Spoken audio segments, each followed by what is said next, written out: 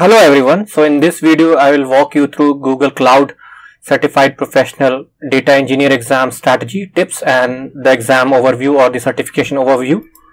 So about me, I have 20 years experience in IT industry with focus on cloud data, uh, machine learning and DevOps. I hold more than 50 plus certification in all the above fields and I am a two times uh, Google professional data engineer certified and also one time Google DevOps and one time machine learning Google machine learning engineer certified. And my LinkedIn profile is here. So feel free if you want to connect with me or uh, follow me. Uh,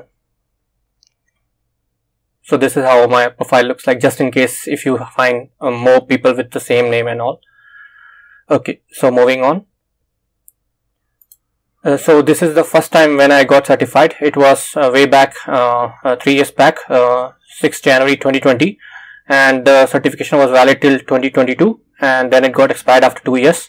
So this was the first time when I appeared and passed the exam and this was the second time. This is the recent one and I appeared on 19 Feb and the certification was is issued on 20 Feb and it's valid till 2025 for next two years and now coming to the exam uh, uh, exam details. So exam cost is 200 usd which is the listed price and it may differ based on your country. And here in india i paid 141 uh, dot 60 141.60 usd after taxes and all. So listed price was 120 dollars and then there were some taxes and all. So total it came to 141 dollars and price is same whether at whether you take at home or at the exam center. It doesn't matter whether you take home it will be less or not. So this is my receipt uh, 141.60 usd and exam date and time. So next is certification exam overview. Uh, so uh, exam consists of 50 questions to be answered in 2 hours and there is no negative marks all multiple choice question so it will be select one right answer out of uh, out of four. So you have four like a b c d and you uh, most likely you have to choose one. But there are some uh, question which in which you have to select two or three right answers out of five or six. So of course if it is like five if it is you have to select two then it will be like you have you will begin five choices. If it's like three uh, which will be like you will begin six. But i didn't see much uh, three out of six. Uh, usually there were one. This was the most 80 to 90 percent was one out of four and a few cases they were like select two out of five or six uh, this which uh, I if I remember correctly. And then if you just do the maths you have like 144 seconds for every question. So that is a little bit uh, slightly more than two minutes for every question. Uh, but uh, so uh, the strategy I will talk about it later but this is just roughly how much time you have for every question so the questions can be answered and also marked for review if you want to review later. So, so as you are going through the question, you can make a choice, you can make a guess uh, if you are sure or not sure. Uh, make a guess, uh, choose one answer and you can mark it for the review. So once you go through all the questions, you can uh, go through the, uh, the questions which you have marked for the review. And uh, one more thing, no pen and paper allowed or provided. So there's, so you, there is a there is one thing there is no math uh, which which you don't have to do any kind of maths for the exam. But uh, if you want like so better you just mark it for the review uh, instead of using pen or paper to uh, remind yourself that you have may have to go through some questions at the end. And the certification is valid for two two years and it can be taken on site at exam center or remotely proctored. So usually i can i prefer at the exam center because you don't have to worry about uh, your internet breaking down or you don't have to sit in a, a room uh, without anybody and and basically you are at at home you will be just constantly staring at your monitor uh, and and at the exam center there's no uh, restrictions like this there, because there's no webcam so basically you can sit at uh, whatever position you feel like. You can take a toilet break uh, so it all depends uh, at the exam center uh, and one more thing pass or fail marks will not be shared uh, shared with you. So it doesn't matter whether you pass or fail uh, you will not be uh, told like which sections you have done well or what was the overall marks or what is the pass percentage so just so if you in case you fail you have to do some kind of evaluation like on which which questions you may have got wrong or not. So this will be a difficult task if you uh, happen to fail, but uh, this is just to uh, let you know. and uh, one final thing exam is uh, i consider this exam to be hard. Uh, so all the questions i can consider difficult or moderately difficult. I didn't see any question which i can consider easy so there were very few questions which i can be considered medium difficult but uh, most of the questions were difficult.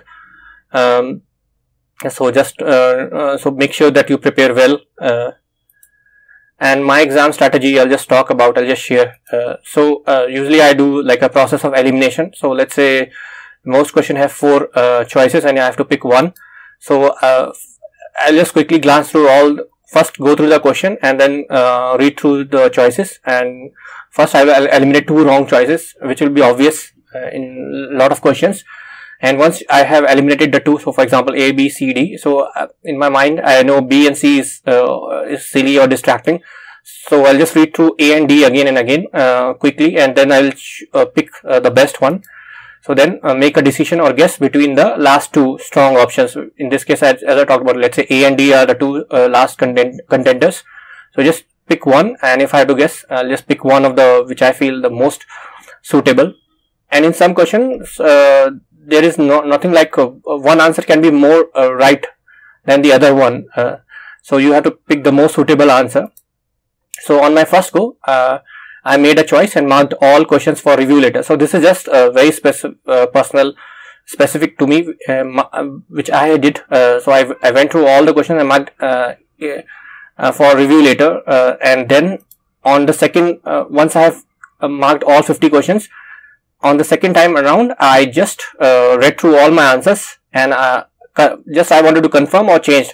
So uh, only for 10 20 percent of my 10 I can I remember just I changed my choice. Uh, and this also uh, like where once you read through all the 50 questions and read through all the 50 answers so within one hour uh, after one hour you will realize that some of the concepts and your memories will start to come back and you will be able to like uh, fix some of your uh, earlier uh, mark for review questions. Uh, so that's why i just went to the second run and so uh, for the first run i just for every question i spent uh, around 90 seconds 1 minute 30 seconds and i just marked all questions. And the second run i just confirmed okay i was right or, or not. And in the second and there were very few instances like around 5 to 10 questions i just fixed um, so that gave me like a good idea about uh, where I stand overall and the top topics in order. So if I have to say like uh, these three topics, BigQuery, data flow and Bigtable, uh, these are like the bread and butter of like Google data, data analytics exam, especially the top one is BigQuery.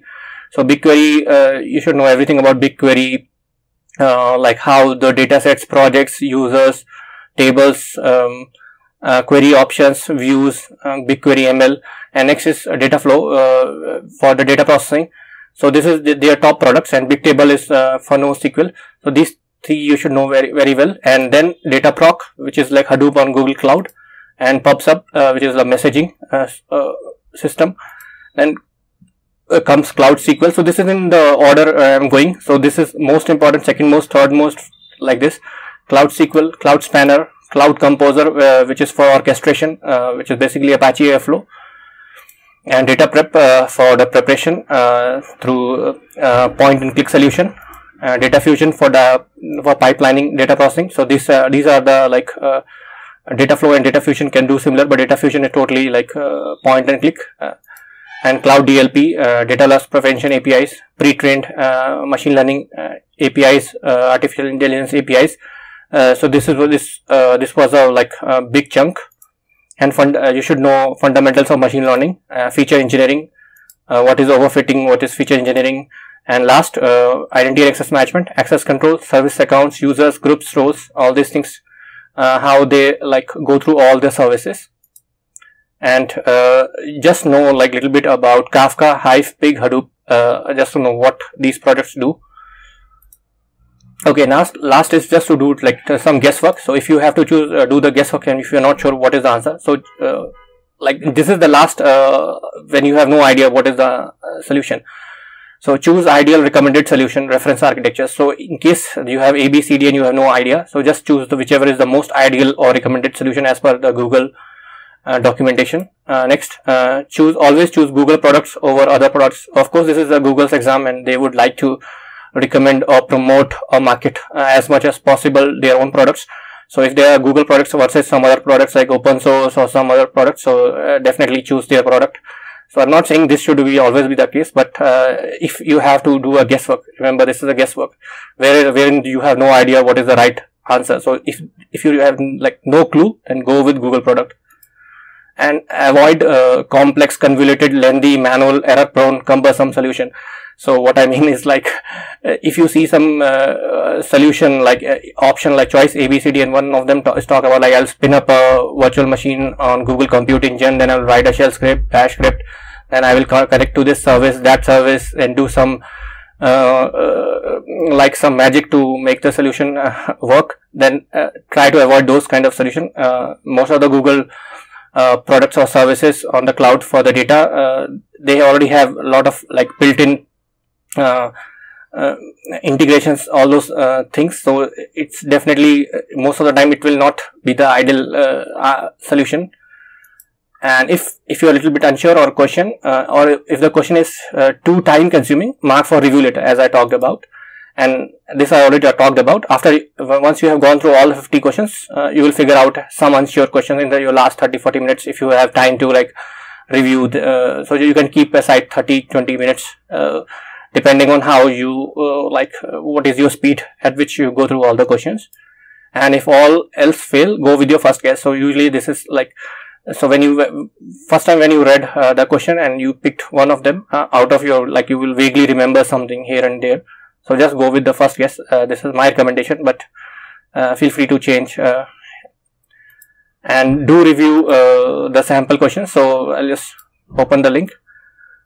Uh, so if you go land on the professional data engineer, if you search, uh, there is like this is all I talked about. There's sample questions link, and if you click that, you will uh, you can go through the 20 there's a 20 sample questions please do go through because uh, it will give you very good idea that how difficult the exam and all is.